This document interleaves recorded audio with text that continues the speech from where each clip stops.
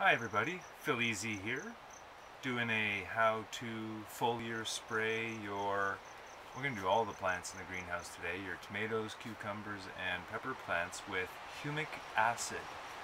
Uh, sounds a bit scary, acid, but it's a weak acid, so nothing really to worry about. What it does is it, uh, the humic acid will bind and help transport, bind to the roots and help transport water and nutrients uh, to that area. High levels of humic acid are uh, equal greater yields, so you end up with more uh, fruit production, all your food.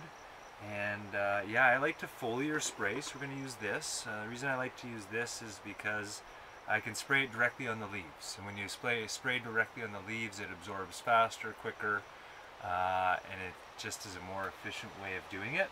Um, I use the humic acid powder. This can be found in uh, probably any of your garden supply stores. You just have to ask likely for it. Uh, it's really inexpensive, well, very fairly inexpensive. I've had this powder for a year already and I barely used it and uh, yeah, it dilutes into the water and you're good to go. So what we're going to do here today is I'm going to take you through uh, diluting using the actual, if you haven't used one of these thingies before, the sprayers, then you're thinking of getting one, then take you through how that works to foliar spray and uh, that'll be about it. Okay, so first step is going to be uh, to make sure you put the right amount of humic acid uh, mixed with your water. So what's recommended is uh, one teaspoon per gallon, half teaspoon to a teaspoon per gallon, or uh, quarter teaspoon per liter uh, if you're going to go in liters wise. So half teaspoon per gallon, quarter teaspoon per liter of water mixed with the humic acid. So let's do it. These things just unscrew. Make sure you release the pressure if you've had it pressurized before, before you unscrew it. It doesn't really, it's not dangerous, but it can give you a bit of a start when it uh, squirts out at you.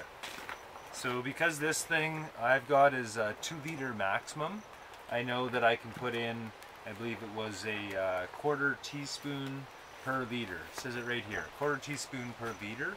So I've got two, so I'm to put in two quarter teaspoons. I'll just double check that my little measuring thing, yep, there it is, is a quarter teaspoon. So I want two of those, one of those per liter. I've read some people say that uh, you don't want to open this stuff up and do this all inside because this black humic powder acid, whatever it is, can be kind of gets in the air and stuff It can be a bit dirty. Uh, I've always done it outside, so I don't know. Haven't had any issues myself. All right, now we're going to fill it up.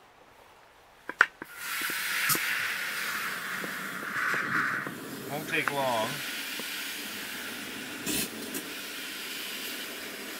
So fill up to your maximum level or whatever below it.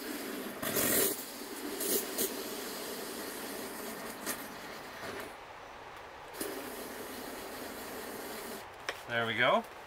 So now I'm going to put the lid on here, or the stem. I've learned that it's easier to spin this actual thing versus spinning that around and around because this is a big wand. So I like to just spin it from the bottom. Again, easy.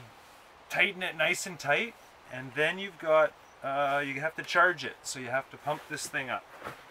So for me, that's going to be this movement. A zillion times. Well, not a zillion, but I do about 50. I don't really count them, but you can feel the pressure start to resist as you go. The longer you do it, the more spray lasts you'll have, all that good stuff. So that feels about good to me. I don't know how many that was. I doubt anyone's counting, but it's a lot. Okay, now I'm going to take you through the actual spraying. Okay, so we're going to pick on tomato plant number one for the demo here.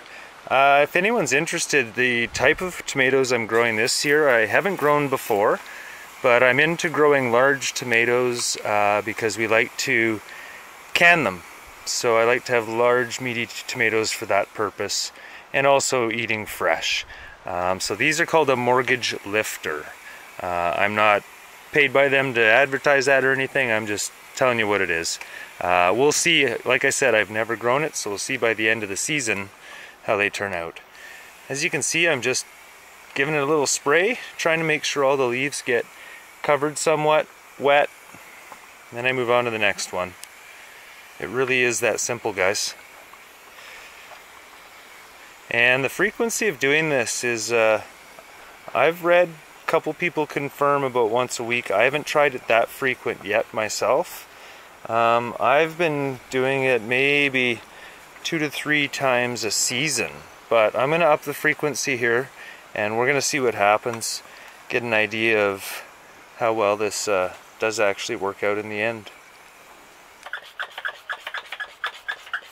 Having to pump it again get more pressure.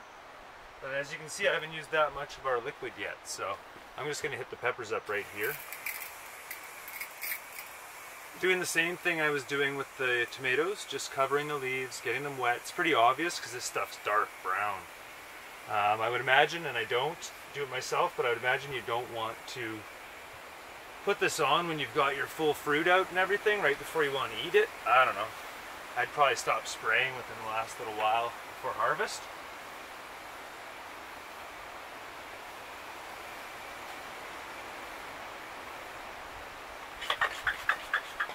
I will sometimes pump as I'm going, just to keep the pressure going. You know me, I like to keep things rolling. It's really easy with this tool though. Uh, I used to try to do it with a hand sprayer a lot, but when you're starting to get into this many plants, it's not as easy, not as much fun for sure. Takes a lot longer too. Cucumbers now. These are quick because they're so small. When they get bigger, you'll see, they'll grow right up to the top. I may even try to train them over across, but I don't know, the tomatoes are going to compete with them, so we'll see how that turns out. Alright, there we go. So using boric acid in a foliar spray application, uh, we've done the whole greenhouse, guys, and uh, didn't take that long. Didn't even use a whole jug, so I'll save this one for next time. Like I said, frequency-wise, some people say up to a week. If any of you guys want to try that out and uh, let us know, let me know in the comments how that worked out, that would be great. Um, I might try it on a few. I don't know if I'll be that organized where I can keep them separate and do certain ones one way and another, but I may try that out. We'll see how it goes.